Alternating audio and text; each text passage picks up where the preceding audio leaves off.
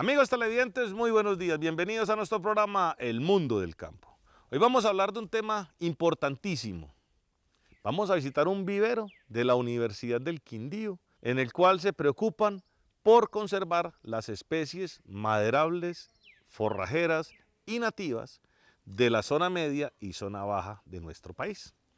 Es importantísimo este tema porque son bancos de germoplasma, son los custodios de la genética nativa y sobre todo son proveedores de herramientas, los árboles, tanto para la industria ganadera como para el desarrollo ambiental. Muy buenos días, yo soy Claudia Marcela Cardona Lindo del Sistema de Gestión Ambiental de la Universidad del Quindío. En este momento nos encontramos en la entrada del Jardín Botánico de la Universidad. Es un relicto boscoso de 13.5 hectáreas donde hacemos procesos de conservación, procesos de investigación y procesos académicos. Eh, aprovechando las fortalezas ambientales que tiene la universidad, desde el año 2018, por medio del Acuerdo 060 del Consejo Superior, se formuló y se aprobó la política ambiental de la universidad. Dentro de esta política tenemos varios subsistemas para manejo eficiente de todos los recursos naturales. Uno de esos recursos naturales que tenemos son los espacios verdes de la Universidad del Quindío. Para ello tenemos el proyecto de Siembra un árbol por estudiante. Este proyecto eh, involucra la siembra de 10.000 árboles en diferentes zonas estratégicas del departamento e incluso en zonas donde la universidad tiene eh, influencia, teniendo en cuenta que la universidad tiene la modalidad a distancia, donde tiene también zonas de influencia en otras partes del país. Eh, iniciamos este proceso desde el año 2017 con el apoyo del Jardín Botánico de la Universidad, del CIBUC, del área de mantenimiento y zonas verdes, eh, también con la Cátedra de Medio Ambiente, en la cual lo que hacemos es convocar a estudiantes de diferentes disciplinas para que realicen este proceso. ¿Qué queremos nosotros con eso? Que podamos conseguir eh, zonas donde podamos garantizar el seguimiento, y la conservación de los árboles que sembremos. La universidad pone el material vegetal, pero pues con nuestros aliados estratégicos que hasta el momento hemos conseguido apoyo, por ejemplo de la Alcaldía de Montenegro y que estamos en conversaciones con la gobernación del departamento del Quindío, pues podamos conseguir que estas especies y estos individuos que se siembren sean viables en el tiempo. También es una labor pedagógica que estamos haciendo con los estudiantes para que se apersonen de este proceso. Nosotros como universidad podríamos realizar la siembra de las especies eh, sin necesidad pues, de involucrar a la comunidad universitaria, pero pues lo que nosotros eh, queremos es hacer el proceso educativo. Obviamente que la misión principal de la universidad eh, son sus estudiantes y por eso hemos querido que cada uno de ellos siembre por lo menos un árbol durante los cinco años que, o más que estén aquí en la universidad. Eh, nosotros realizamos estas campañas también de manera voluntaria aquí al interior de la universidad, en algunos claros de bosque que nos quedan en el relicto boscoso. Y cuando lo hacemos aquí en la universidad, lo que hacemos es una convocatoria abierta para que cualquier persona se pueda acercar y realizar la siembra. El semestre pasado sembramos 200 árboles también aquí al interior de la universidad y sembramos 850 árboles durante el año 2017 y 2018 en un predio eh, del municipio de Montenegro. Dentro de las estrategias que hemos utilizado para poner en marcha este proyecto, pues hemos empleado eh, como aliado a la Cátedra de Medio Ambiente, que es una cátedra que tiene la universidad transversal a todas las disciplinas, es decir, en esa cátedra encontramos estudiantes de todas las carreras de la universidad. Entonces, con los profesores de la Cátedra de Medio Ambiente logramos que se hagan unas salidas eh, ecológicas, pero pues que estas salidas tengan un propósito, que es el propósito de la reforestación. La otra estrategia que hemos eh, utilizado es el tema pues de la inscripción voluntaria de las personas que quieren cuando hacemos la reforestación aquí al interior de la universidad. Entonces, por ejemplo, el semestre pasado que la realizamos en un claro de bosque que teníamos por la cancha de la universidad, eh, tuvimos la participación de 80 estudiantes y tuvimos la sorpresa de que encontrábamos estudiantes también de todas las disciplinas. Uno pensaría que este tipo de actividades solamente les interesan a los estudiantes de biología o a los estudiantes de la licenciatura en ciencias naturales y encontramos que habían estudiantes de ingeniería, que habían estudiantes de, ciencias, eh, de ciencias de la educación, eh, de incluso de ciencias de la salud. Entonces es muy bonito encontrar que hay personas de diferentes disciplinas que también están interesadas en la práctica del medio ambiente En esa reforestación tuvimos el acompañamiento de don Javier Salazar, el administrador del Ecoparque Peñas Blancas, que tiene unas experiencias eh, muy valiosas en el tema de reforestación y les dio una charla a los estudiantes también para motivarlos a hacer este tipo de actividades, no solamente aquí en la universidad, sino en otras partes. La de este semestre es muy bonita porque fue una iniciativa que tuvieron los estudiantes de, de Ingeniería Electrónica de la IEEE. Y estos estudiantes, siendo de una ingeniería que uno pensaría que no tiene mucho eh, relación con el tema del medio ambiente, ellos mismos se acercaron a nosotros diciendo que querían hacer una actividad de reforestación, que si los podíamos apoyar pues desde el punto de vista técnico y desde el punto de vista administrativo para que pudieran hacer la convocatoria también de manera voluntaria y tener eh, participantes y estudiantes de toda la universidad. Diprocar combate los hemoparásitos y anemian sus animales, un producto de Laboratorios Colbet, creando bienestar alta genética ovina en pastoreo y más de una década de respaldo. Criadero ovino El Redil, en Cartago Valle. Controle moscas e insectos con platos atrapamoscas. 20 platos engomados por solo 30 mil pesos. Llame ya y obtenga 40 platos por solo 50 mil pesos. Producidos por las maquinitas del campo. Pequeñas soluciones a grandes necesidades en el campo. Definitivamente a los mejores árboles son a los primeros que les dan hacha. Son los primeros que son talados. ¿Cuántas especies han desaparecido? Simplemente porque eran muy finas, muy buenas para la ebanistería, muy bonitas para los trabajos en madera. Entonces los agotaron nuestros antepasados en los bosques. Pero como eso estaba ahí botado, nadie se interesó por eso. Resulta que acá en la Universidad del Quindío, con sus diferentes facultades que tienen que ver con el tema ambiental y el tema agropecuario, pues desarrollan este vivero. Un vivero que se encarga no solamente del tema de la riqueza genética forestal nuestra, sino que se encarga también de potencializar las especies con vocación forrajera. Los árboles tienen muchísimas funciones ecosistémicas desde muchos puntos de vista, desde el punto de vista biológico, lo que hablábamos anteriormente, la captura del agua. Pero entonces una de las funciones más bellas y más importantes y que en este momento, por el tema del calentamiento global y la crisis que tenemos desde el punto de vista ambiental que más nos interesa, es el tema de la captura de CO2. Eh, los árboles eh, respiran a la inversa como lo hacemos nosotros, nosotros respiramos oxígeno y botamos CO2, en los árboles lo que hacen es que capturan ese CO2, lo incorporan dentro de su estructura eh, molecular y liberan oxígeno al medio ambiente. Ahí es como la importancia que tiene, que tiene la conservación y la reforestación, porque eso lo que nos permite es aumentar las cantidades de oxígeno que hay en la atmósfera y disminuir el dióxido de carbono, que pues para nadie es un secreto, que es un gas efecto invernadero y que es uno de los grandes responsables del calentamiento global. Entonces, por eso es el llamado a realizar estos procesos de reforestación en cualquier aspecto de nuestras vidas. Nosotros podemos sembrar un árbol, por ejemplo, frutal si tenemos un patio en la casa. No tiene que ser un árbol de gran tamaño para que eh, siga teniendo esos servicios ecosistémicos, sino que los árboles pequeños, los árboles frutales que podemos tener en nuestras casas, en nuestras fincas o casas de campo, también tienen esa misma función ecosistémica. Hace poco, para nadie es un secreto lo que pasó en la Amazonía, eh, se presentaron estos incendios forestales que pusieron en alerta a todo el mundo, porque hemos escuchado que la Amazonía es el pulmón del mundo. ¿Por qué se dice eso? Pues por lo que hablamos, los árboles son aquellos que capturan ese CO2 y devuelven al medio ambiente el oxígeno, entonces ellos son los, grandes productores de oxígeno, aunque también este proceso se realiza en las profundidades marinas.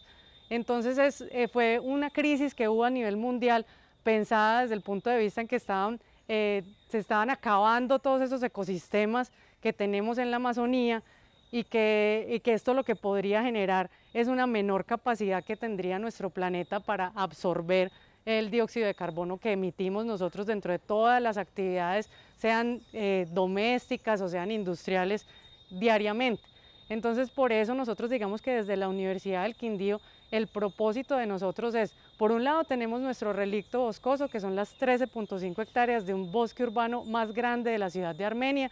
También vemos cómo cada vez más está aumentando la frontera urbana y estamos quitando el espacio a esos relictos boscosos y a esos sitios donde podemos sembrar los árboles. Entonces nuestra misión y nuestra obligación como ciudadanos del mundo, no solamente como personas que trabajamos o que estudiamos en la universidad, es realizar estas labores de reforestación para poder garantizar la calidad del aire, para que podamos hacer una regulación del, del clima, para que garanticemos la sostenibilidad de nuestro planeta a las generaciones futuras.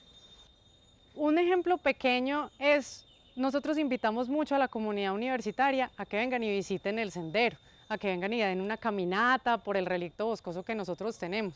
Uno inmediatamente llega a este pequeño bosque que tenemos y siente que hay un cambio en la temperatura, en la calidad del aire, incluso uno está, el, el tema energético, uno baja un poquito los niveles de estrés y eso es lo que pasa en un ecosistema como estos.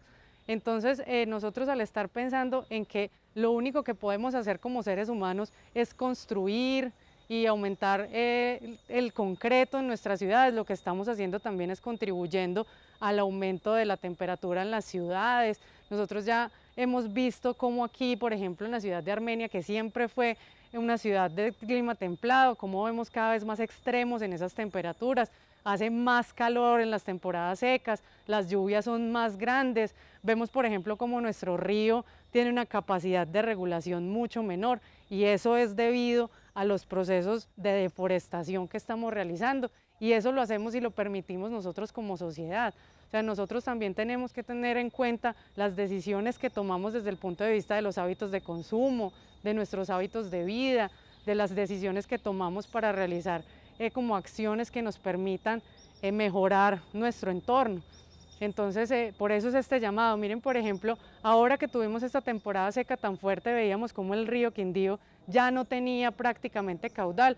Y esto tiene que ver en gran medida con que nosotros tenemos nuestra cuenca desprotegida en la parte alta.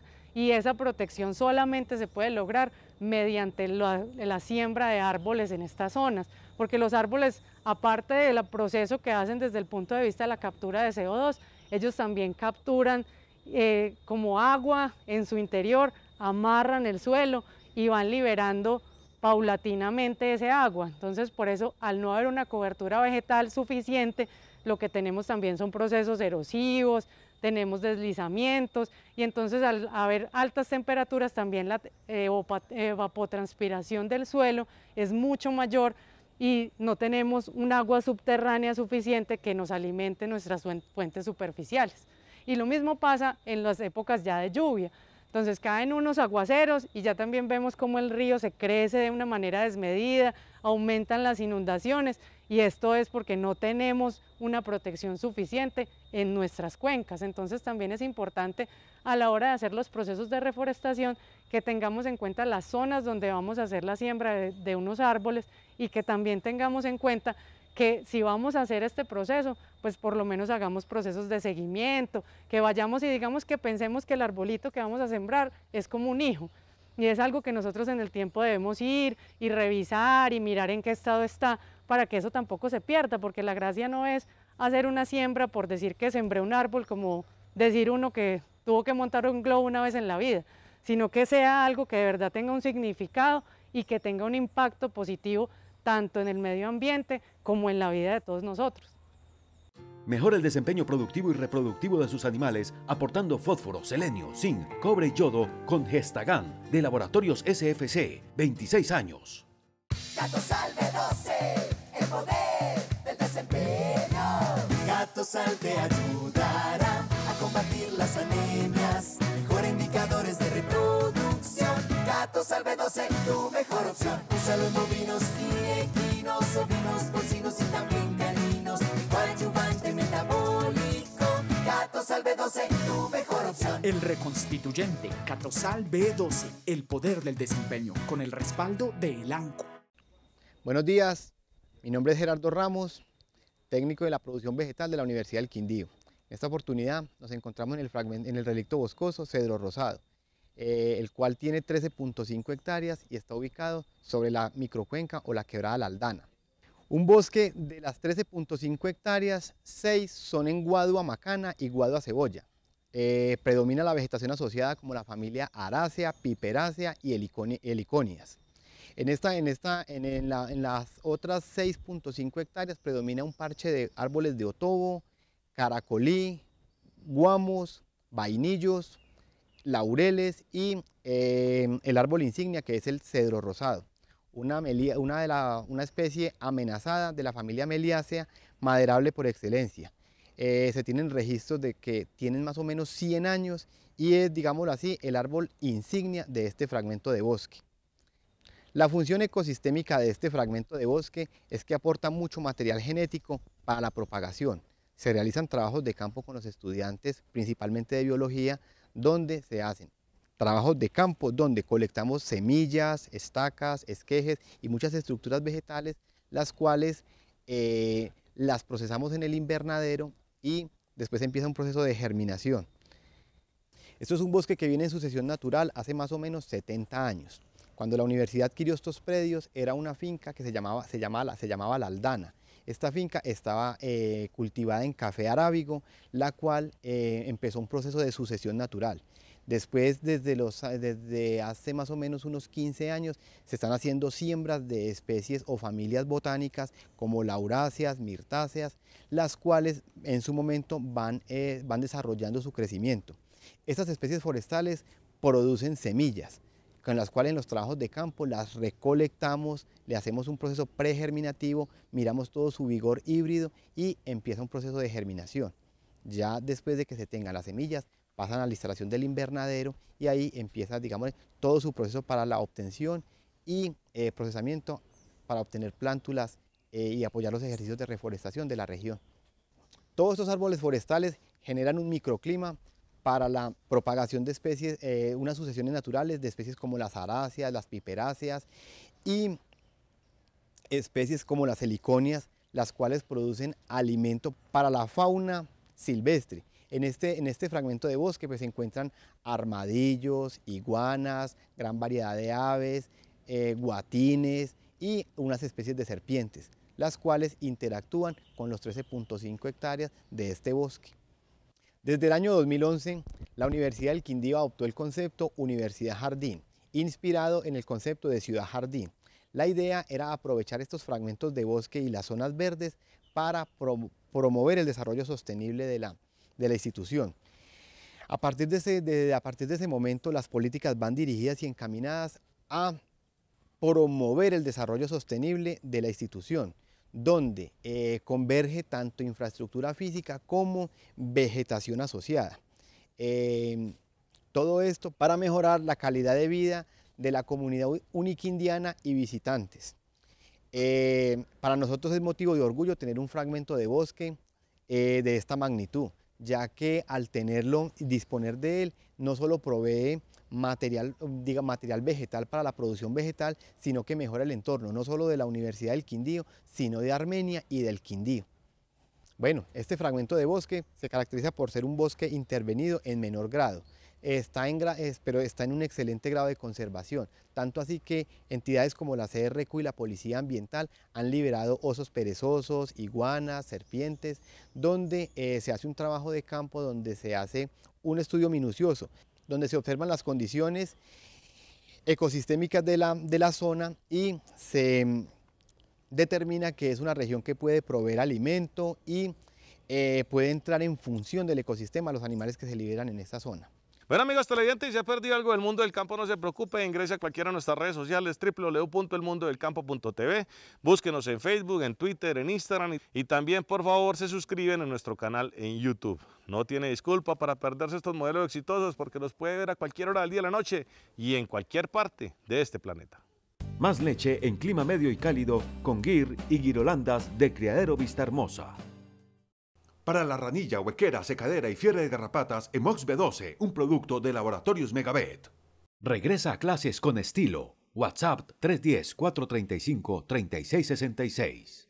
Controle moscas e insectos con platos atrapamoscas. 20 platos engomados por solo 30 mil pesos. Llame ya y obtenga 40 platos por solo 50 mil pesos. Producidos por las maquinitas del campo. Pequeñas soluciones a grandes necesidades en el campo. Eh, buenos días, mi nombre es Daniel Felipe Casas Castañeda, soy estudiante del programa de Biología adscrito a la Facultad de Ciencias Básicas y Tecnologías de la Universidad del Quindío. Eh, yo soy auxiliar de, del Jardín Botánico con el objetivo de apoyar eh, la propagación de material vegetal que es traído a las instalaciones de la universidad. Precisamente nos encontramos en el, en el invernadero de la universidad y pues acá hacemos todo el proceso de, de recibimiento de las semillas y un proceso que, que requiere eh, de ser necesario eh, que las semillas tengan una viabilidad, ya sea cuando se pasan a los módulos de germinación o se puedan pasar a su, a su ambiente natural. Estas semillas son traídas de los bosques de, de la zona de, del Quindío y si es posible de otras zonas del país. Aquí manejamos especies que están en peligro en, en alguna categoría de amenaza y es fundamental porque si bien estamos en la academia se requiere hacer procesos que vinculen a este tipo de especies que están siendo amenazadas y perturbadas por el ser humano. De esta forma, pues nosotros en el bosque lo que hacemos es seguir los patrones de floración y fructificación de los árboles, de las plantas de portes bajo, medio o alto, dependiendo pues de la especie.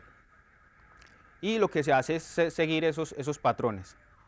Se se traen las semillas, una vez ya estén en el suelo, se deja un porcentaje de, de, estas semillas en su área natural, ya que debemos garantizar que la especie se reproduzca de forma natural, biológicamente.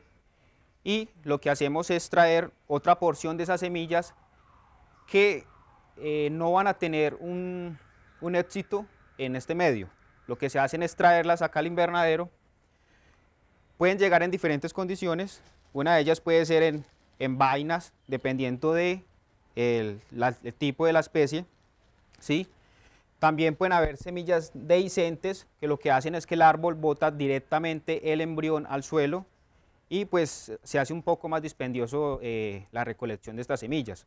Por lo que hay que traerlo con material de eh, residuos de materia orgánica y pues debe pasar por un proceso ya diferente. Eh, los árboles, eh, por ser seres vivos, eh, contienen unos, unos, patrones de comportamiento muy diferentes entre cada una de las especies, incluso entre familias y, y categorías taxonómicas superiores. Por lo que se requieren estudios previos de cuáles son las épocas de floración, ya que todos los árboles no florecen en las mismas épocas, algunos florecen en invierno, otros florecen en verano, pueden ser perennes o, no lo pueden ser, pueden ser temporales, fructifican cada seis meses, cada año. Incluso se han reportado que desde que nace un árbol hasta que eh, florece se pueden demorar hasta 60 años en obtener una semilla que sea viable. Este es el caso de la palma de cera, Cherochilum quindigüense, árbol nacional de Colombia, y pues tiene este, este, este ciclo de reproducción bastante largo por lo que su proceso de propagación por un medio eh, artificial es bastante complicado. Debido a la amplia variedad de especies que tenemos en el relicto boscoso del jardín Cedro Rosado, eh, tenemos la fortuna de recolectar semillas de diferentes espacios en diferentes épocas del año. Esto nos permite pues, tener una producción de semillas eh, durante todos los meses de diferentes variedades de, especies de árboles. Una vez ya identificado el árbol que, tiene semillas, tiene una época de fructificación y, y, posteriormente pues ha dejado sus semillas al descubierto, lo que hacemos es un muestreo donde las vamos a recolectar, eh, se siguen unos protocolos en donde eh, sean lo más estériles posibles, no traernos microorganismos que estén presentes en el ambiente, que bien se pueden comportar diferente, de diferente manera aquí en el, invernadero como pueden ser hongos o bacterias que pueden generar que la semilla eh, comience un proceso de pudrición. Una vez son entradas las semillas al invernadero, eh, lo que se hace es el proceso de desvainado, que consiste en sacar la semilla de la vaina. De esta forma, pues vamos obteniendo la semilla, ¿sí? Cuando cuando este, esta semilla sale de esta forma, pues su proceso es básicamente eh, separarla del, del, resto del material vegetal que viene de la planta. Pero cuando está de esta forma, lo que hacemos es pasar a un proceso de tamizado donde vamos a separar eh, materia orgánica que no sea de la semilla, eh, restos de minerales como rocas, de la semilla que es lo que buscamos obtener. Después de tamizado pues obtenemos este tipo de semillas. Una vez obtenido las semillas, lo que hacemos es verificar que no tengan algún tipo de daño mecánico, bien sea por algún animal o por el transporte, o por animales que simplemente buscan alimento en ellas. Por ejemplo, eh, la testa de, muchos frijoles es, dañada por coleópteros que, que, buscan refugio.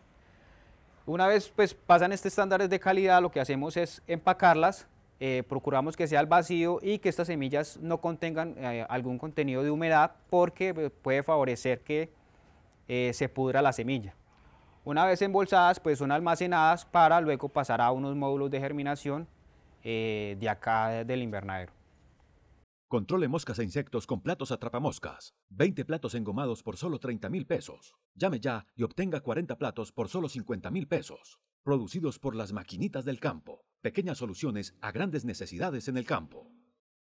Shindaiwa, los especialistas en guadañadoras para trabajo pesado. B45, la guadañadora incomparable. Nuevos modelos B460 y B430 a un superprecio. Shindaiwa, la guadañadora japonesa más vendida en Colombia.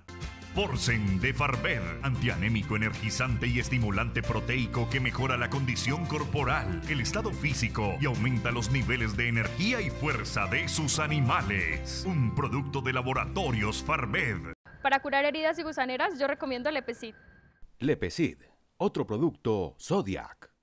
Amigo productor, con la línea especial de crédito Agricultura por contrato, usted puede financiar actividades como siembra de cultivos de ciclo corto, sostenimiento de cultivos perennes y de producción agropecuaria, comercialización y actividades rurales, con la tasa de interés más baja del mercado. Pregunte a su banco o cooperativa de confianza por los beneficios que Finagro tiene para usted. Industria Tornometal JR, todo en maquinaria para el campo. Inagro, innovando el agro colombiano. Visítenos en www.industriatornometaljr.com.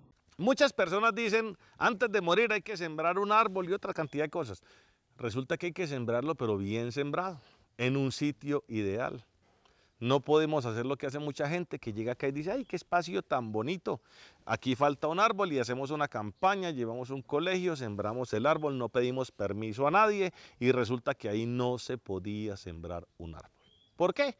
Porque por ahí pasa el acueducto, por ahí pasa el alcantarillado, por ahí pasa el, el cableado, por encima pasan las redes eléctricas y entonces estamos haciendo, en vez de un bien, estamos haciendo un mal. La invitación es a que consultemos y hagamos unos procesos de recuperación forestal exitosos, bien hechos y sobre todo con el aval de las autoridades ambientales y de los dueños de las fincas. ¿Por qué? Porque tenemos que enriquecer nuestros bosques. Ellos fueron degradados al sacarle todos los árboles de interés económico. Entonces tenemos que llevar todas estas especies nativas, que hay muchísimas que no conocemos, y volverlas a plantar en unos arreglos forestales conservados para que sigan haciendo su función. Producción, reproducción, producción de agua, captación de agua, captación de CO2, producción de oxígeno, producción de madera, porque un árbol nace, crece, se reproduce y se muere, y el objetivo es aprovecharlo antes de que se muera para que no se pierda. Con esa visión tenemos que seguir promoviendo el desarrollo de estos viveros que son, como les dije, los bancos de germoplasma de las especies forestales del futuro. Ya cuando la semilla está embolsada, clasificada y eh, en este proceso llega ya, eh, empieza su proceso de germinación. Aquí en la Universidad del Quindío tenemos un módulo de germinación de construcción casera. Se compone de que se compone una estructura metálica a un metro del piso, a un metro del suelo, para evitar contacto y evitar problemas fitosanitarios. Eh, tiene una medida de un metro, tiene un metro de ancho por, eh, por 14 de largo. Este segmento está dividido en, módulos de germinación eh, de 40 y 50 centímetros. Tiene 25 centímetros de profundidad y aquí manejamos el sustrato, tierra negra, cascarilla de arroz, tenemos arena cuarcítica y un poquito de micorrizas. El sustrato hacemos una mezcla, comúnmente es el 1, 2, 3, por cada Por cada dos eh, sería, eh, la mezcla sería uno de, eh, uno de abono orgánico, micorrizas, dos de arena y tres de tierra negra. La función de cada uno de esos elementos es muy importante porque garantiza que las plantas, garantiza que la semilla, garantiza que la semilla se convierta en plántula. Generalmente un proceso de germinación requiere de tres cosas básicas, que es un sustrato, humedad relativa y brillo solar. Entonces ya cuando en este proceso ya está el, módulo de germinación, se em, entierran las semillas y se espera un proceso como, como el que estamos viendo aquí a continuación. Ya en este proceso, em, las plántulas, digamos las semillas se convierten en una plántula y cuando ya tiene sus dos hojas verdaderas empieza un proceso de trasplante, que es cuando ya pasa a una bolsa. La bolsa que manejamos aquí en la Universidad del Quindío es una bolsa de 30 centímetros de alto por un diámetro de 3, un diámetro de 15. La idea con esa bolsa es garantizar que un árbol forestal eh, pueda tener entre 45 y 60 centímetros para llevarlo ya a campo a la hora de la siembra. Nosotros aquí en la academia eh, lo que hacemos es que marcamos su nombre con su nombre científico, que se compone del género y el epíteto específico, la familia a la que pertenece y ponemos una fecha. Generalmente estos datos son claves, ¿por qué? Porque van a una bitácora y podemos tener un control y seguimiento. De esto depende que una semilla, dependiendo de lo que diga la literatura, em, miramos si pasan 15, 20 días y no germinan, empezamos a mirar, empezamos a mirar o a procesar qué está pasando. De pronto es un ataque de hongos o de pronto a veces entran insectos o agentes patógenos que pueden interrumpir el proceso de la germinación. Luego de que la semilla se convierte en chapola y ya tiene sus hojas verdaderas, de ahí pasa un proceso de aclimatización, en la cual pasa a estas camas donde se siembra, donde se hace un trasplante, la chapola pasa a una bolsa. Después del proceso de aclimatización pasan más o menos entre 3 y 6 meses, donde ya la chapola se vuelve un árbol, donde ya tiene mucho tejido foliar. Después de ese proceso de aclimatización, lo que se hace es que se le quitan todas las hojas bajeras, se hace un sellamiento con sábila para estimular su crecimiento vertical y recto del arbusto como tal.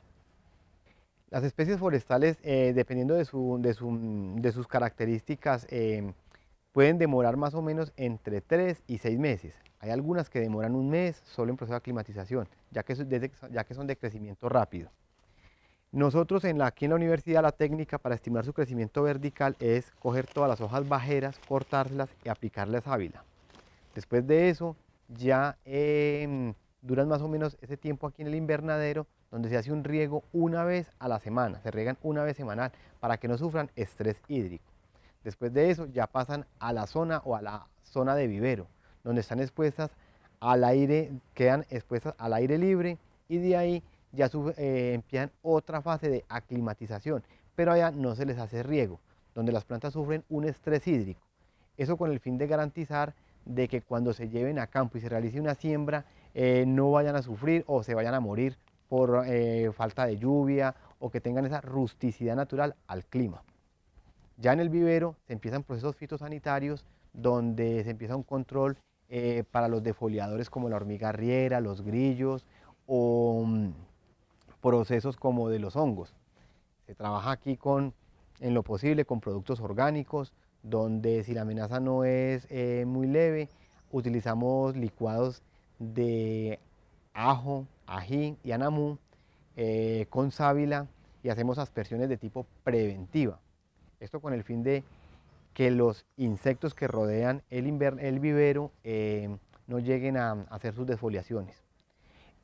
para controlar los problemas fitosanitarios como los hongos, utilizamos tricodermas, y mm, hacemos un control permanente, evitando así propagación de hongos em, que nos invadan o nos afecten las plántulas y los tejidos tiernos de las especies forestales que tenemos en esta zona. Evite pérdidas en sus cosechas de maíz con el cañón espantapájaros de ACG Equipos. Fumigadoras para tractor y de agro. Mecanización en nuestros campos. Amigo productor, con la línea especial de crédito sectores estratégicos, usted puede financiar la renovación del cultivo de cacao en varios departamentos del país con la tasa de interés más baja del mercado. Pregunte a su banco o cooperativa de confianza por los beneficios que Finagro tiene para usted. Controle moscas e insectos con platos atrapamoscas. 20 platos engomados por solo 30 mil pesos. Llame ya y obtenga 40 platos por solo 50 mil pesos. Producidos por las maquinitas del campo. Pequeñas soluciones a grandes necesidades en el campo. Una vez las especies han pasado por el proceso de, del vivero, que consiste en, levantar esos árboles que pasen de una etapa de, de una edad cero, desde semilla, hasta un tipo de, de, árbol que tenga más o menos este porte, unos 15, 20 centímetros, dependiendo de la especie, pues estas ya van a ser llevadas a sitios en donde se requiera su presencia. Se ha dado el caso de que eh, por intervenciones antrópicas como eh, quemas de, de, cultivos se han extendido a, a, sitios donde hay bosques naturales, pues lo que se hacen es llevar este tipo de árboles. Este tipo de árboles en este vivero contamos con más o menos aproximadamente 2.500 individuos repartidos entre numerosas especies como guayacán amarillo, eh, cedro rosado, eh, poma rosa, algunas especies de guayabos, eh, árboles que son forestales, que, puede, que han sido eh, de tradición maderables o que también han sido de, tra de, tradición de frutales. Para esto, pues entonces contamos con estos tipos de árboles y que van a ser llevados posteriormente a estos sitios donde han sido intervenidos. También eh, se han presentado catástrofes eh, naturales eh, de la, de, la, zona, normales, como deslizamientos, y lo que se hacen es llevar estos tipos de árboles que eh, pues por sus características pueden ayudar a la firmeza del suelo, a evitar que se vengan avalanchas, a que retengan una buena cantidad de agua y pues presten unos servicios ecosistémicos importantes para la zona montañosa que es la zona del Quindío. Es importante tener en cuenta eh, la biología de la especie, en este caso de las plantas. Estos árboles pues pueden ser de porte medio, bajo o alto, por lo que se requiere pues conocer toda su etología y cómo se va a comportar en campo. Es por esto que, por ejemplo, eh, hay especies que enraizan mucho que nos pueden ayudar a darle firmeza al suelo. A la hora de sembrar el árbol, pues debemos tener en cuenta unas características muy importantes de su especie. Por ejemplo, si la especie tiene un área foliar amplia, que puede, su, su copa se puede expandir bastante, pues debemos ubicarlo en un sitio pues, que, esté, que, no esté rodeado de muchos árboles, que le pueda dar buena cantidad de sol y pues que eh, cuando esté adulto este va a abarcar gran cantidad eh, en área. Es importante eso. También a la hora de la siembra eh, debemos eh, preparar el suelo, si es necesario llevar materia orgánica, se deben tener cuidados con los residuos de bolsas, ya que pues estos son, son cultivados en, en, bolsas mientras están en la, en la, etapa de vivero. Los residuos es importante recogerlos. Eh, se hace un hueco dependiendo de la, de la edad del árbol, de, del tamaño que tenga el árbol también. Se hace un hueco amplio que pueda eh, darle espacio a las raíces para que puedan crecer y se pueda adaptar fácilmente a ese nuevo sustrato. Se hace un plateo para que no hayan eh, competencia de nutrientes por otras plantas que pueden estarle generando algún tipo de daño, algún tipo de, de, competencia y pues se eliminan estas, estas, estas arbences. Luego pues se le garantiza agua si es necesario al árbol, a la planta que estamos sembrando en ese sitio y pues si es necesario también eh, unas estacas que, que, señalicen que ahí está el árbol y que se debe tener cuidado con él durante un tiempo prolongado. Dentro de, del vivero tenemos especies de árboles que requieren unas características muy especiales. Hay árboles que se comportan muy bien al interior de bosque, eh, en donde pues sus, sus, condiciones cerradas, donde hay un, una, un flujo de, de, flora y de fauna constante, pues va a permitir que esta especie se desarrolle bien.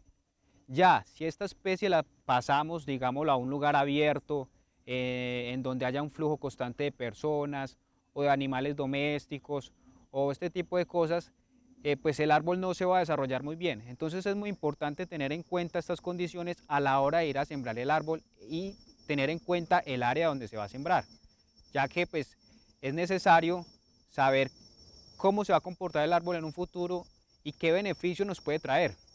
Hay árboles que se adecuan muy bien en ciudad por su, por su área, porque no se enraizan mucho, porque pueden servir para, para delimitar carreteras, para, para embellecer la ciudad, pero también hay árboles que no son eh, propios para este sitio, ya que pues, hay árboles de porte altos que pueden generar eh, por fuertes vientos caída de ramas y pueden eh, estar causando daños dentro de la ciudad.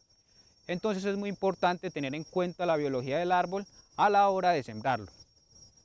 Debido a, la revolución verde que se ha venido presentando en los últimos años, la implementación de agroquímicos, la implementación de maquinaria pesada, pues se ha perdido eh, muchos procesos ecosistémicos que se, se, dan entre la naturaleza y los, eh, los sistemas productivos, tanto agrícolas como pecuarios.